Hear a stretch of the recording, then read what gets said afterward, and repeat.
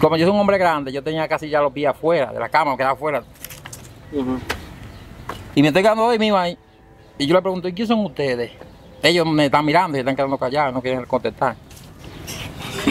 Y yo le pregunto, ¿quién son ustedes? Y el más grande de los tres me dijo, nosotros somos una legión y vinimos a buscar. Se lo querían llevar. Mira cómo me granó todavía, mira. Sí.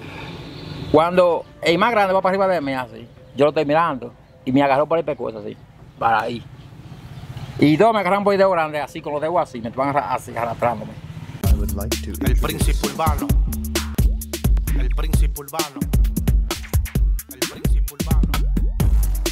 El príncipe urbano. Mi gente, saludos y bendiciones, el Príncipe Urbano. Gracias por la sintonía en este programa. Recuerden siempre darle me gusta a los videos. En el día de hoy tengo un testimonio fuerte. Eh, eh, Chavo aquí y Magali están contando un testimonio bien impactante de que ellos presenciaron, el Chavo presenció tres demonios que fueron a su habitación en el, en el hospital. Una historia bastante interesante. Eh, ¿Cómo se siente, Chavo? Me siento bien. ¿Y usted, Magali? Muy bien, gracias a Dios. Qué bueno. Cuéntenos la historia de qué, qué fue lo que pasó desde el principio. Que usted va al hospital y tiene esta experiencia eh, paranormal. Yo tuve una enfermedad. Era el apéndice. Y no podía ir al baño, me fui llenando, la barriga me poniendo dura. Estaba estreñido. Eso, eso fue antes de usted darse cuenta que era el apéndice. Sí, antes. Luego vamos a, lo- a la, a la policlínica allá, nos mandan a hacer análisis. Fuimos a análisis a Villarriba. Cuando vamos a Villarriba, los aparatos no que nos sirven. Ahí viene otro día más de, de- de dolor y sufrimiento conmigo ahí. Luego, la hermana mía me dice, vamos, yo a ir al hospital, chavo. Yo nunca he ido al hospital. No me gustan los hospitales. Y ya, ya estaba tan desesperado que le dije, pues ponte ropa y vámonos. ¿Usted tenía cuántos días ya con, con el problema? Que no podía ir al baño. Ya tenía como una semana. Una semana ya. Y un hipo que no me quitaba, me daban de todo. Y no se me quitaba. No se le quitaba. Entonces, eh, usted dice, vámonos, estoy decidido. Y fueron para el hospital. Sí, pues ya, ya estoy desesperado, ya me estoy, como que dice, muriéndome. Ahí me llevaron a Macorís. Macorís me pusieron una enema. Fui, me alenté un chisme, me despacharon. Pero cuando llegamos aquí, que llegó la noche, me volvió otra vez dolor, pero más fuerte ahora. Y ese hipo que no me quitaba. Y pues, y cada vez que hacía ahí, ese dolor. Cuando el otro día yo veo por la televisión que hay una mujer que hace un ejercicio con un palito. Yo tengo la la barriga tan grande, quité el palito a, recoger basura y me estoy haciendo así en la barriga. Para ver si eso me, se me barata. Cuando la esposa me ve, dice, ¿qué tú estás haciendo, muchacho? ¿Tú estás loco? Y eché la noche entera vomitando un líquido amarillo. Y la habitación la llené a boca abajo, me hacía en la cama. Llené la habitación de, de- de ese líquido amarillo. Cuando mamá dice por la mañana, vámonos, a Macorís. Eso fue para ir de la madre. ¿Verdad? Cuando le digo a la hermana mía, yo estoy desesperado, ya estamos en el carro, digo, oye, si yo salgo de esta, me voy a vender el evangelio. Porque esto es demasiado duro, ya he dado demasiado vueltas a los hospitales. Y voy a vender el evangelio. Y Cuando- no hayan solución. Ese- en ese momento de usted dar vueltas y vueltas, no le habían di- diagnosticado todavía que era del apéndice. No. No, incluso aquí en la policlínica me chequeó. Me atentó por aquí duro y me subió un pie. Y no me dolía tanto. Yo dije, no, no me duele. Y llegamos ya a la casa.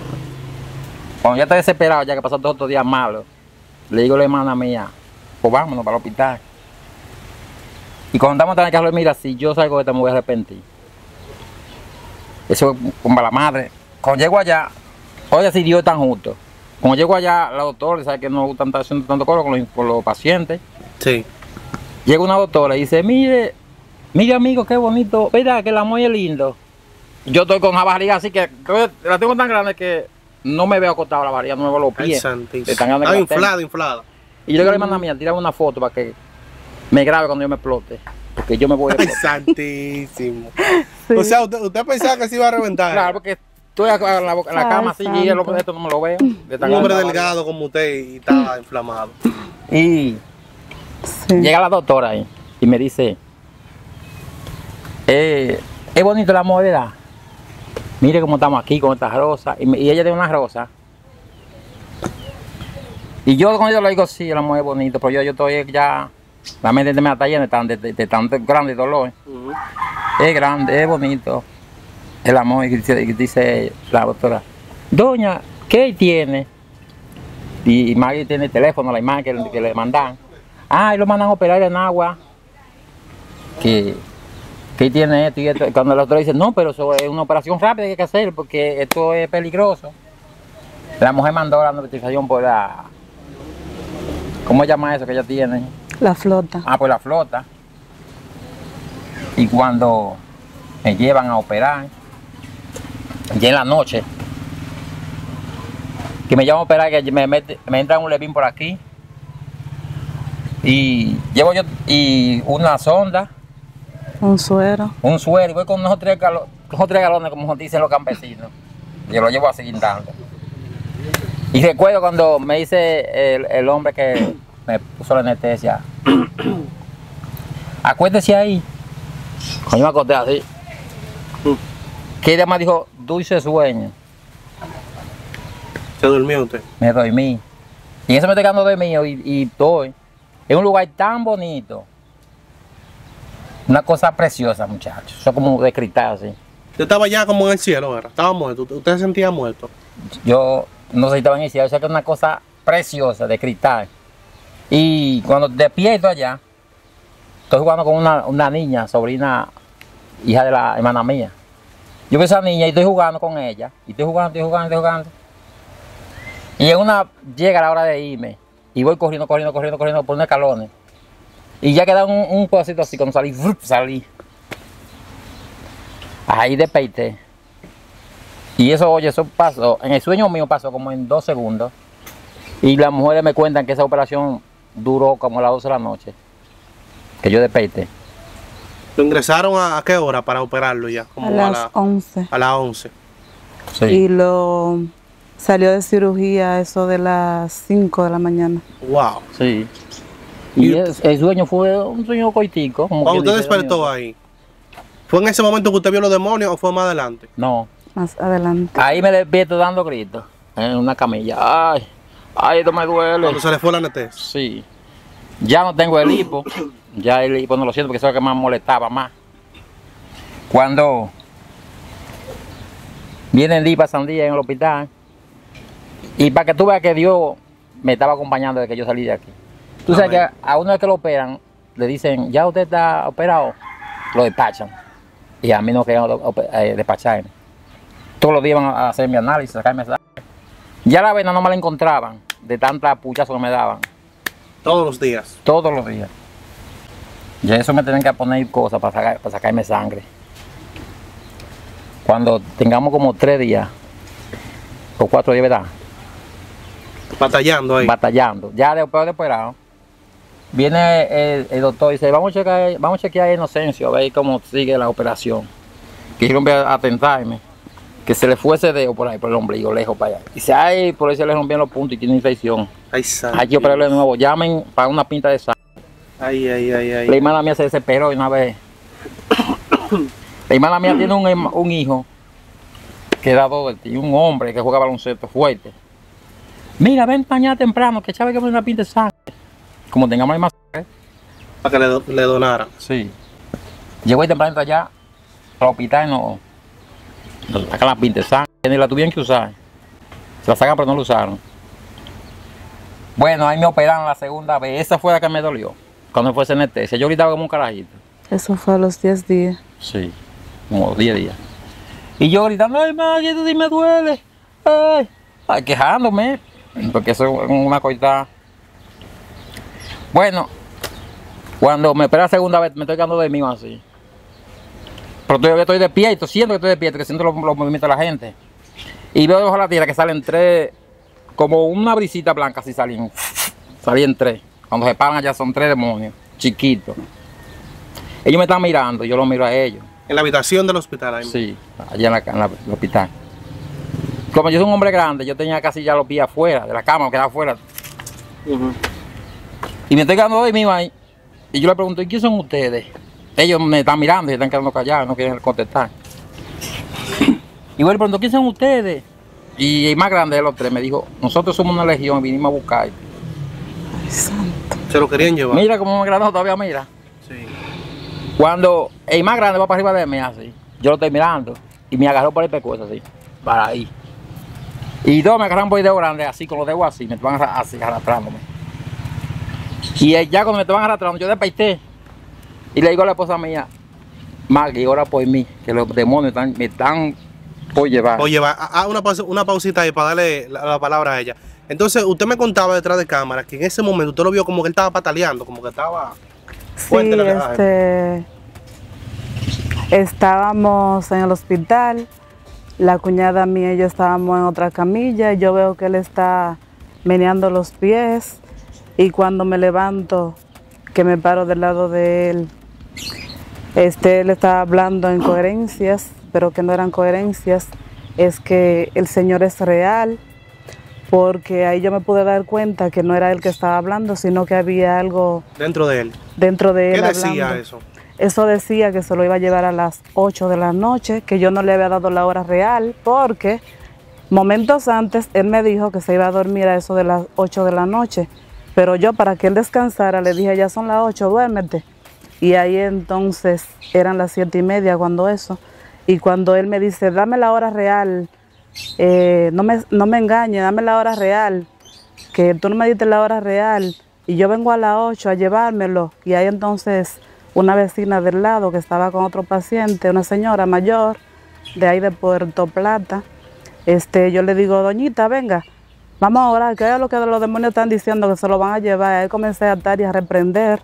Yo comencé a decir, la sangre de Cristo tiene poder, la sangre de Cristo tiene poder, y tú no te lo vas a llevar porque pertenece al Señor. Y ahí comencé a atar y a reprender. La doñita vino, cuando la doñita vino, comenzamos a orar, reforzamos la oración. Ahí este, él tenía, dice que tenía un nudo en las gargantas, ahí comenzó este a, a toser y ahí botó algo cuando comenzó a toser. ¿Qué fue lo que votó, más o menos? ¿Qué se parecía? Como una Este, flema. era como una flema. Él dice que color? los demonios lo estaban este, asfixiando. Ah, era como que lo estaban ahorcando. Lo estaban, Sí. ajá, lo estaban más grande me ahorcando. tenía, me tenía por el aquí. Y ahí este pudo botar algo, flema este, una, una flema que lo, lo estaba, ah, según lo tenían tan, eh, tan apretado, él dice que, eh, eh, dice no, que él botó algo y cuando dice, doñita, agarra a la señora y le dice, doñita, ora por mí cada cinco minutos. Y ahí te comenzamos a orar, la, doña, la doñita y yo. Y ahí al instante, él quedó tranquilo, pudo dormir este, esa noche más en paz, porque los demonios, yo veía cuando él estaba pataleando que se lo querían llevar. Por eso es que cada día más yo le digo a él que él tiene que eh, afirmarse más, porque los demonios esa noche y más noche que duramos allá en el hospital, eso fue a los 10 días que a él lo operaron. Después de 10 días volvieron a hacerle otra cirugía. Y ahí fue cuando sucedió eso y seguían los demonios atormentándolo. Yo tenía que estarle poniendo alabanzas, oraciones para dormir y cosas así para que él lo pudieran dejar tranquilo. Era un, tom- un tormento total. Era un tormento total. Aún una noche, sin nosotros saber que en esa habitación había pasado nada, ya él lo sabía. Los demonios que estaban dentro de él dicen, mamá, la hermana de él se llama mami, estaba conmigo allá en el hospital.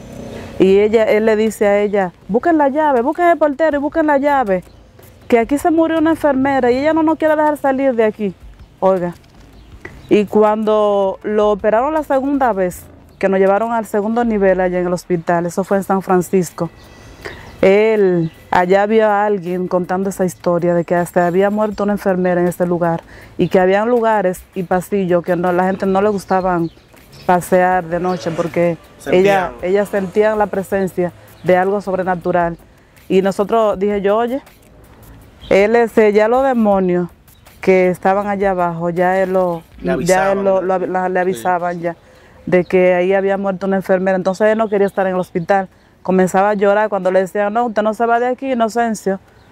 Este, Usted todavía tiene la- los glóbulos blancos muy altos, le estaban dando mucha fiebre.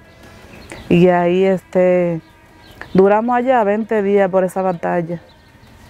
Ya usted sabe, Bien fuerte. bien Eh, fuerte. Lo bueno de esto es que Inocencio, conocido popularmente como Chavo aquí. eh, ¿Cómo se llama este barrio aquí, perdón? Las aguas. Las Aguas. Nos encontramos gente en Las Aguas. Esto pertenece a. Ayuna.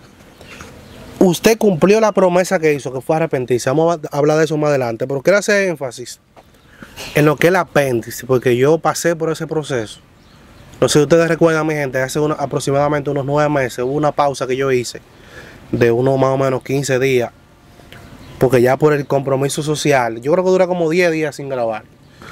Eh, no subía contenido, pero luego me dieron un mes y medio para descansar, porque tú sabes que uno por el compromiso que tiene con la gente, me puse a crear contenido, que la primera entrevista fue que hice, fue de la niña embarazada, Miguelina.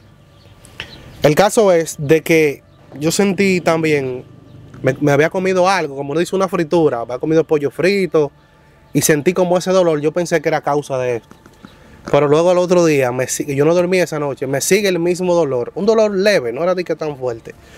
Pero yo, como tengo ya cierta madurez, yo dije, déjame chequearme porque este dolor está raro. Fui a la, a la clínica, eso fue un domingo, y me dejaron ahí. Y a la par de horas era el apéndice. Entonces, mi gente, el apéndice es algo bien delicado. A mí me dijo el doctor, ese apéndice, apéndice hay que sacártela urgentemente porque si, te, si, te, si se te explota adentro, tú puedes morir porque nadie o muy pocos se han salvado si se le explota adentro, que fue el caso de él. Y si se salva, me dijo él, eh, eh, eso es como un veneno que te come todos los órganos. Y bueno, nosotros de una vez, con mi familia que estaba ahí dándome apoyo, eh, accedimos. Gracias a Dios que, que tengo la oportunidad en ese momento y, y ahora, gracias a Dios, de, de tener el dinero para resolver rápido. Porque en caso suyo, usted quizá cogió más lucha y más cosas porque fueron ho- ho- hospitales. O sea, que no es igual usted Claro. dando el dinero ahí mismo. El caso de mi gente que se resolvió el caso mío. Pero imagínense ustedes que yo me hubiera descuidado y que se hubiese explotado. La historia hoy fuera otra. Yo quizá no hubiera estado aquí. Entonces, por eso digo que yo que tuve la experiencia sé que eso fue un milagro de Dios, hermano. Porque explotarse ese apéndice luego una segunda operación complicada fue un milagro. Usted entiende que su fe, la fe de ambos, porque usted es la esposa de él, eh, la oración y la cosa fue que- hizo el milagro. Claro, claro. De que yo salí de aquí y hablé con Dios, Dios me estaba acompañando. Satanás, como yo sabía que yo estaba con Dios, que quería hacer su trabajo, quería llevarme antes de llegar de Dios. Las doctoras dicen que de 100 gente que le explota el apéndice, uno se salva. Y yo fui uno de esos. Y si se salva, queda sufriendo también. Porque es que los órganos le van dañando. Es un veneno que acaba con todo. Exacto. Sí, este, la doctora cuando salió de la cirugía dijo, ustedes entraron por una obstrucción intestinal, es decir, que no podía ir al baño. Exacto. Y cuando, si se quedan allá en la casa, a esta hora estuvieran llorándolo allá o comprando la caja. Ya se ve muerto. Y cuando él llegue allá al campo, tiene que testificar y hablar de la grandeza de Dios, porque solamente el Señor pudo hacer eso. Nosotros entramos por una obstrucción y nos encontramos con la apéndice explotada y los intestinos perforados, que lo tuvimos que, ¿cómo se dice? Lo tuvimos Restaurar, que como- restaurarlo este, por parte. Y por esa causa duramos allá 20 días y, y los doctores querían que duráramos más porque a los 10 días se le estaba abriendo la, la cirugía, se estaba infectando un poco y ahí este, yo entiendo que fue por esa causa de que se le explotó el apéndice, como usted decía, porque de eso solamente de 100 personas quizá uno puede contarlo. Claro. Y por esa causa este, él duró casi 6 o 7 días que ni siquiera agua le podíamos dar. No le podía dar agua, claro. Yo mismo no, no podía tomar agua el primer día. Nada de eso. Muéstramela aquí un poquito en la barriga. Levanta un chin el suete. Y usted me explicaba. Ajá. Eh, Explícame, Dali, todo esto aquí que, le, que usted me estaba diciendo detrás de cámara ahorita, por favor. Sí, esto aquí fue cuando le hicieron la primera cirugía, le pusieron muchas grapas esas grapas se estaban abriendo aquí. Cuando el doctor fue, se le entró ese dedo. Ahí fue cuando él nos dice que tienen que hacerle la segunda cirugía. Cuando le hicieron la segunda cirugía, volvieron, lo abrieron. eh, Luego le pusieron, aquí le pusieron algo, un soporte más fuerte, es decir, eh, hilos y unos tubos para que la cirugía no se le volviera a abrir. Aquí le pusieron unos drenajes, como ven aquí. Aquí él era para sacarle todo el líquido que le quedaba en la barriga y no se le volviera a inflamar. Exacto, para que la gente vea que esta es la prueba, que es un testimonio real, ¿me entiendes? Que no fue algo inventado, ahí está. Cuando los médicos, o no los médicos, cuando la ciencia dice que no, entonces ahí viene Dios y dice que sí. Amén. Y dice que sí es. y hace quedar en vergüenza a la ciencia. Así Porque es. como dije, en mi caso me lo dijeron.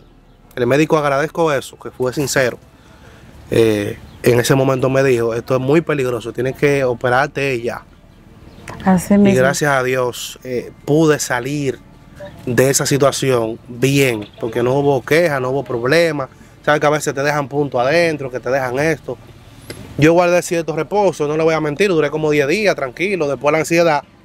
Sabes que el que crea contenido ni, ni duerme, yo me acuesto, yo me puedo acostar a las 12 de la noche. Y, y el cerebro creando ideas, creando contenido, me acuesto a las 3. Porque uno no para, eso es consecuencia. Todo creador de contenido me va a entender. Cuando usted crea contenido, su cerebro no descansa. Entonces, en ese momento yo estaba con una ansiedad que quería crear contenido y tuve que salir. Pero gracias a Dios todo salió bien. Entonces, luego de esto, a los cuantos días ya o meses usted se sintió ya que, que estaba, porque me imagino que físicamente estaba un, po- un poquito usted, ¿verdad? Mal, deshidratado, tantas operaciones, tanta sangre, tanta vaina. Un día me, aco- me acosté ya en la cama y me estoy viendo por el teléfono así. Me veo tan flaco, que estoy tan flaco, estos bracitos tan flacos. Y ella me allá llorando. Dice, ¿por qué tú estás llorando? Y yo, "Ma, el cuerpo yo tenía, mira cómo yo estoy ahora. Yo dando gritos como un carajito. Y ella me dice, no llores, que Dios te va a poder ver. Te va a ver tu cuerpo normal como tú eras. Y ya como fue. Siete meses tengo ya. Tie- Tiene siete meses que pasó eso. Luego de que usted se recuperó, eh, comenzó a ir a la iglesia, ¿verdad? Sí. Él venía a darnos culto aquí. Él dijo allá en el hospital que desde que él llegara a la casa iba a hacer un arroz con dulce para los hermanos, que iba a invitar para la iglesia. Y así lo hicieron. Este vinieron, nos traían culto aquí los hermanos, hicieron un culto al aire libre allá afuera. Y Con la faja, una faja que me pusieron. Sí, no se podía ni parar si no era con esa faja de la cama. Y cuando llegamos aquí a la casa, te hicieron los cultos, venían los hermanos, hasta de Nagua vinieron a visitarnos. Y, y él, me, recuerdo yo que un día le dice una de las hermanas de la iglesia de allá arriba, la pastora, nos dice que que si podíamos ir a la iglesia, yo le dije, no, yo tengo que, si yo podía ir, y yo le dije, no, yo no puedo ir ahora hasta que él esté así, porque yo tengo que bañarlo, curarlo dos veces al día, su alimentación, que no puede faltar, que era todo eh, cosa suave. Y, y dice él, no, venga a buscarnos el domingo. Fue como un transcurso de la semana. Y dice, no, venga a buscarnos el domingo. Y el domingo, recuerdo yo como a los dos domingos de estar acá en la casa, vinieron y nos buscaron. Él con su faja y su cosa y al paso. Íbamos a la iglesia y veníamos. Él no, no se paró, él no, no guardó tanto riesgo porque la doctora dijo, y los doctores ya decían que dentro de un año él no podía andar pescando ni podía hacer cosas pesadas. Y él ya a los cinco meses más o menos a los tres meses ya él andaba ya, Pescando. andaba ajá, con su faja. Eh, usted me decían que ustedes, o sea, eh, él trabajaba normal antes, pero luego de esto ya tiene que cuidarse, necesita cierto cuidado. Entonces, actualmente usted se dedica a la pesca, eh, pesca para, para el hogar y si aparece una gente, ¿verdad? Se la vende. Entonces, gente, ustedes saben que yo siempre hago contenidos sociales y me gustaría que las personas que puedan a- a- a apoyarlo a usted lo hagan, eh, porque es un caso bien impactante. Entonces, de su número ahí. 829 468 país de 476. Repítalo. 829 468 país de 4 76. Ahí está, cualquier persona que le quiera hacer una pregunta directamente, lo que sea, una ayuda, ahí él la recibe. Eh, ¿Cómo ha sido su vida entonces en, la iglesia luego de esto? ¿Cómo usted se ha sentido? Yo me, me he sentido bien. Que incluso digo que si yo hubiera sabido eso, mucho antes me hubiera entrado en la iglesia. Eso yo he escuchado de muchos pastores que han dicho. Si yo hubiese sabido que el evangelio era tan bueno, me meto, me meto más antes. Eso sí es verdad. Así es. Eso sí es verdad. Porque ahí hay una paz, hay una tranquilidad, se siente, Muchos amigos no consigue, muchos hermanos. se siente más en confianza con la gente porque todos están Sí, en una misma hermanos. dirección. Sí, como hermano. Ya, y, y- y otra cosa, que tener muchos amigos es lo mejor que hay. Pues yo me recuerdo que la última vez que me iba para Macorís, un amigo que teníamos nosotros allá en Villa Arriba, el, el- el marido de la, de la hermana mía no tiene- licencia. Y yo estaba oscureciendo. Mamá lo llamó ese hombre, ve. Y el carrito de- del cuñado, dice, me calentó el carro. Ella es medio gago, me, me, me calentó el carro, mamá. Porque ese me le dio toda. Para llegar rápido. Sí, y dijo, chavo se puede morir, chavo se puede morir, él también me cago, chavo se puede morir. y tocando la bocina a todos esos vehículos para que se orillen. Y le doy gracias a ese hombre también, porque si no hubiese ¿Cómo se hombre- llama él? Mándame un saludo que él puede ver este video. hoy. Él se llama Ramón. Ramón. No. Ram- Mamá, ¿cómo se llama el amigo de nosotros de la ambulancia? Mario. Mario. Mario. eh. Sí, Él es de, de Nahuel, de Villarriba. de Villarriba. Él trabajaba en una ambulancia. Sí. Que también me, ese, ese hombre yo digo que me lo puso Dios. Porque usted sintió que él le, le dio una atención, eh, Sí. ¿verdad? Y Sí. Jordi, Qué bueno, otro amigo Y Jordi. sí. Y Jordi también, eso, eso, eso es importante tener amigos, porque también si no soy por Jordi, La primera vez nos llevó Jordi allá a San Francisco, que estaba allá en agua con nosotros. Llegó al hospital, llegaron muchas personas, muchos familiares. Y ese día me recuerdo yo que dice la doctora, ¿ustedes andan montados? Y digo yo, sí, andamos en un carro. Dice ella, tienen que llevárselo inmediatamente para San Francisco, porque aquí este no tenemos cama y tienen que llevárselo, tienen que operarlo hoy mismo. Y ahí estaba Jordi, recuerdo yo, que Jordi dijo, sin ningún inconveniente yo lo llevo, que incluso tenía él ese día, al otro día tenía una causa y la perdió, que todavía está batallando porque no ha, no ha podido Ganar. ganar la causa. Y también le agradecemos mucho a Jordi por eso, porque Fue un él gran se- gesto, claro. él se olvidó de todo. Y allá, incluso allá el otro día le decía yo, váyase y tiene que irse. Él dijo, no, yo no puedo dejar a Chavo así. Y hasta que no vino con nosotros, que fue cuando nos despacharon la primera vez a la casa, él no, no nos dejó, no No nos desamparó, no nos dice. desamparó. Qué bueno. Chavo, yo puedo percibir en usted que usted es una persona muy trabajadora, un hombre como querido. No soy psicólogo, mi gente, pero yo, más o menos la vibra uno la siente. Sí. Antes de esto, cuénteme su día a día, ¿cómo era? no, trabajaba en la ciénica sacando hierba, sembrando, pescaba, pescaba camarón en, en NASA para venderlo. Oceaba en buen dominicano. Sí. Lo que había que hacer. Sí. Incluso en la cédula mía dice chiripero. yo lo que hallaba lo hacía. Lo hacía. Sí. Todo lo que hacía, toda la chirita. Construcción también. Trabaja con construcción. Cualquier cosa que tú me digas, vamos a Es hacerlo. un joseador. Pero sí. ya no puede. No. Porque ya la salud, no puede con ese proceso que usted pasó, No, no tiene que puede. cogerlo más suave ya. Sí. No puede ser este, nada forzoso, como dicen los doctores, nada de fuerza. Miren, mi gente, estar en la clínica, en el hospital, donde sea, con un familiar, todo el que ha pasado por ahí, sabe el trote que es eso. No es fácil. No es fácil. Usted no duerme, usted no come, usted esto. ¿Cómo era Magali esos días con, ese esposo suyo al lado, usted sabiendo que está pasando por un momento difícil, que usted también lo, ta- lo estaba sufriendo? ¿Cómo fueron esos días? Bueno, esos días fueron muy difíciles. Que si el Señor este no hubiese dado fuerza, no hubiésemos podido resistir la hermana de él y yo, que duramos esos 20 días. Y los doctores querían que duráramos más, porque él todavía no estaba No para estaba de para- de alta. Y recuerdo que un día él mismo se enojó conmigo y me dijo que me fuera. Vete para donde lo, para Nagua, me dijo ese día, porque yo le dije, ya no aguanto. Ya, ya, estoy al tirar la toalla y me recuerdo yo que... Él un- le dijo a usted que no Él me aguantaba. dijo que, yo le dije a él, y él me dijo que, que me fuera. Sí, A un día descansar. tu mamá. Ah, Y ok, un no le día, dijo de mala él manera, me sino dijo que me fuera a descansar. descansar y otro día llamaron a la enfermera amiga de nosotros, que también le agradecemos mucho a ella. Ella le llaman Virgen. Ella es de San Francisco y trabaja en la ambulancia. Pisa, en la ambulancia. Sí, ella trabaja en el 911 allá en San Francisco, es decir, donde quiera que la manden, pero ella nunca nos, nos desamparó. Desde el primer momento que nosotros estábamos en Nagua, la, la- la hermana de Chavo la llamó y le dijo, vamos para allá, y ella cuando nosotros llegamos allá, ella estaba allá haciendo todas las gestiones y todo para cuando llegáramos le prestaran atención de una vez. Incluso la segunda vez que llegamos allá a San Francisco, ya estaban todos los doctores esperándonos. Que desde que llegamos, de una vez. lo pusieron en la camilla, le pusieron su sonda, su levín, su, todas la- las cosas que se necesita para un paciente que llegue en ese estado.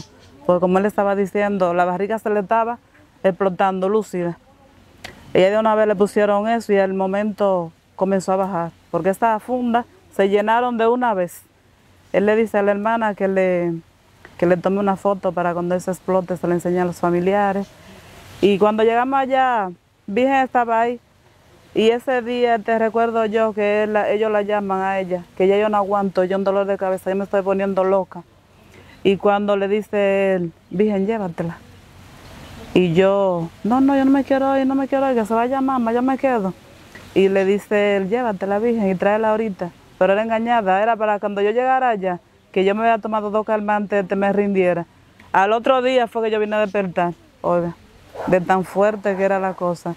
Y los pies parecían dos botas, de tan hinchados, que la, la, la chancletica se me marcaban ya, de tantos días parada. estar parada y caminando con él, porque los doctores lo mandaron a caminar, que también se le hincharon los pies y decían que hasta que no se le bajaran los pies no podía este, darle de alta.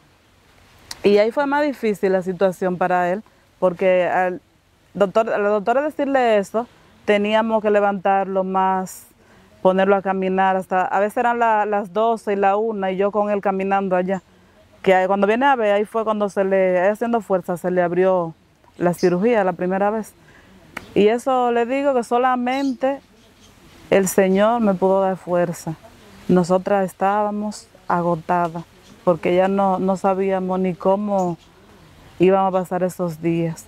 Pero el último día, cuando ya le dieron de alta, que él comenzó a llorar allá, que aún los doctores no querían darle el alta, este, yo le dije, él se quedó paralizado, como que no, no entendía ni siquiera, porque estaba perdiendo hasta la mente, porque no comía. Lo único que le daban ayer era un ensu y un poquito de agua, que no era mucho. Recuerdo yo que el primer día que el doctor le dice que, que podía tomar agua, que eso era como un vino caro, de gotita en gotita. Ese hombre se pegó de ese vaso y quería agua cada instante. A cada instante quería agua y él lo le dábamos para que se refrescara y así la ansiedad se le calmara un poco.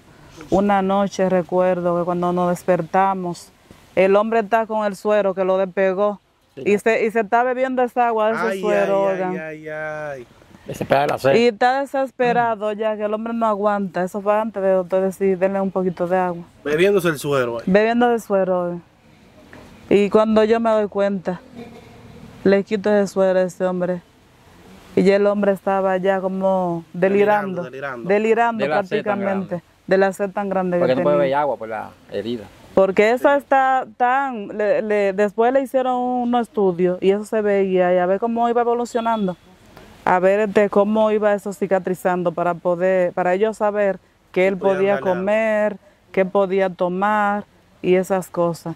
Allá le dieron como dos o tres veces de una leche especiales que dan allá para que se sosteniera más.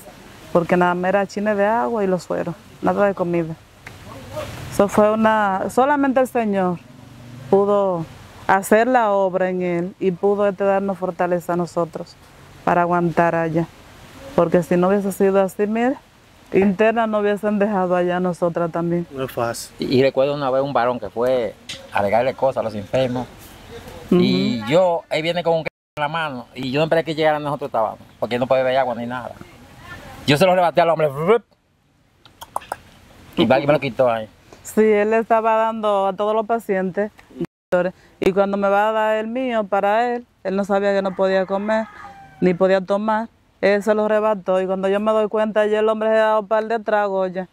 Sí, porque era desesperado, Sí, no- desesperado. no es fácil tener la Una persona que, que no estaba acostumbrado ni siquiera a, un- a donde un médico. Claro. Y tanto tiempo sin comer y más todo el tiempo que duró aquí en la casa. Ahí también. Porque desde que él estaba aquí en la casa, que duró esas dos semanas, dando viajes para los médicos, no podía comer nada por el hipo, como él le dijo. El hipo no lo dejaba comer. Ahí está ahí la noche entraba vomitando, ese líquido amarillo, estaba deshidratado también. Sí, él estaba botando el jugo gástrico ya. Eso fue todo lo que él botaba aquí nada más. Así es. Usted se vio cerca de la muerte ahí. ¿Qué- Mentalmente, ¿cómo usted estaba en esos días? Yo te digo la verdad, si yo no había clamado a Dios cuando yo me fui de aquí, que me entregué a Él, pues yo estaba cerquita, cerquita de la muerte. Porque yo te digo que cuando yo estoy allá que dice el doctor, él no puede tomar agua. Y sabe que el cuerpo lo, lo que le prohíben, eso que quiere. Pues yo tengo como seis días que no bebo. Y esto, esto aquí lo siento, como cuando tú tienes un, te la, que te la cosen con hilo, de tan seca que la tengo. Y yo decía a ella, mojame los labios, que ni que sea, pásame algo, una toallita o algún trapito húmedo, ni que sea por aquí, por aquí. Y ella me pasaba una toallita y yo la chupaba así. No podían chupar los labios, es fácil. de tan seca que yo estaba. Sí. No es fácil. Él dice mental, mo- mental. ¿Cómo Sí, te mentalmente sentías? también. ¿Cómo usted se sentía? Si se sentía muy depresivo, usted se sentía que, que, que, Que te básicamente eso mismo, que se iba a morir. que- o algo sí. así. Sí, se sentía triste, usted pensaba en su familia, pensaba usted, Claro. porque esos son los momentos que uno piensa, como que uno autorreflexiona. Ahí no importa de que usted está pensando en una casa, de que en esto, que aquello, usted lo que está eh, pensando en la salud. Ya llegué hasta aquí, aquí me voy a joder. Ese O le pasaron pensamientos, aparte de, de su fe en Dios, Claro. pero le pasaron esos pensamientos. ese es el tiempo que tú valoras la vida. Ese tú no quieres, que no quieres morirte. Y, y le pide a Dios que te deje vivir. Porque ahí es lo duro, muchachos. Cuando tú sabes que estás que está triste morirte, hay que tú valorar la vida. Porque yo en ese día siempre estaba pidiéndole a Dios. Que le diera otra oportunidad. Sí. Y gracias a Dios, Dios me escuchó. Así Amén. Dios es real. Sí. Amén. Dios es real. Ay, sí, Eh, Señor es real. Dios tiene, o sea, cada persona que está viendo este programa, de una forma u otra, ha tenido una experiencia con Dios. Así es. Eh, y quizás hay otra que la vida entiende que la vida te ha golpeado muy duro, pero recuerda que tú no eres el único. Porque tú te pones a investigar y tú dices, el caso mío fue fuerte, pero el de fulano es 10 veces más fuerte que el tuyo. Claro. Entonces, cada quien le va tocando, porque la vida es una maestra que te va a enseñar las cosas. O sea, te va a enseñar que tú de mano tienes que darle gracias a Dios por la cosa buena, por la mala hay que darle gracias también. Y la vida te va golpeando, que la vida de Dios, cuando yo hablo de la vida, estoy hablando de Dios. Te va golpeando para hacerte más fuerte, para, esto, te va moldeando. Entonces, qué bueno que usted pudo pasar esta travesía, que fue un milagro. Y qué bueno que ustedes eh, nos contaron esta historia para que la gente vea que Dios es real y que Dios existe. Sí. Independientemente del que no crea, se le respeta, pero sí Dios es real. Así que muchísimas gracias por la oportunidad, chavo. A Magali también. Y Dios me lo bendiga. Démosle un mensaje final mirando esa cámara ahí al público. Bueno, yo le digo que hay que creer en Dios. Porque cuando tú estás cerca de la muerte, Satanás no dura mucho mandar los espíritus a buscarlo. Porque yo digo cuando Satanás no va a buscarlo, él manda los demonios. Porque yo digo cuando yo vi esos dos demonios que vinieron que yo todavía, Tres, ustedes dijeron. Sí, yo tres demonios. Y yo estaba muerto y fueron a buscarme. Y yo decía, pero eso yo no soy un hombre malo, no le hago a nadie, tengo muchos amigos. Yo ni a un perro le doy una pedra, ni le hago nada a nadie. ¿Y cómo vienen estas esta cosas a pasar? Decía yo. Porque no estaba No arrepentido. estaba arrepentido, todavía no se había No se había entregado de verdad entregado al al Señor. Señor. Sí. O sea, que para que usted vea, mi gente, que mira, me pasó un caso que es un tema delicado y no lo quiero mencionar con mucho detalle, pero sí yo tenía un amigo que él se bebió una sustancia y ya en sus días, cuando él estaba casi ya muriéndose, eh, él le dijo a los familiares, ahí está el diablo y vino a buscarme. Míralo ahí el diablo. Y él señalaba. Y no lo veían los otros, y él lo veía, pero míralo ahí donde está el diablo que viene a buscarme ya. Y le pedía perdón a Dios eh, él. Pero ya era tarde porque ya se había bebido un veneno. Él O sea, en, en la muerte se ve, se ve Perdón, este, él veía los demonios porque él estaba en el mundo espiritual ya. Exacto. Él estaba sí. en el mundo ya de la muerte, estaba eh, eh, esperando nada más la hora ya. Los demonios venían, él veía eso igual que el chavo, porque ellos estaban ya en el mundo espiritual. Eh, Hay muchas personas que no saben lo que es el mundo espiritual, pero el mundo espiritual cuando la persona ya está más allá que aquí. Exactamente. Están ya en una circunstancia, ya nada más esperando la hora, como dicen, lo están velando. Exactamente. Está nada más el cuerpo está ahí en ese lugar, pero el espíritu anda desandando. Claro. Es cuando dicen que anda desandando. Ellos están en el mundo espiritual. Ellos están viendo todo lo que está pasando, an- an- andan caminando, todo lo que ellos vivieron en la vida y lo están viendo. Y eso, por eso él veía a los demonios, eh, eh, el amigo suyo, y también Chavo, porque ellos estaban en el mundo espiritual. Yo, te- yo digo la verdad, y que se muere.